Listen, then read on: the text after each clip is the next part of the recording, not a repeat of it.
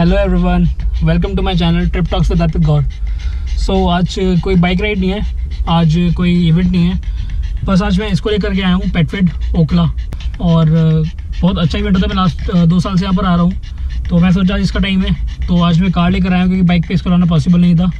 सो so then मिलते हैं अंदर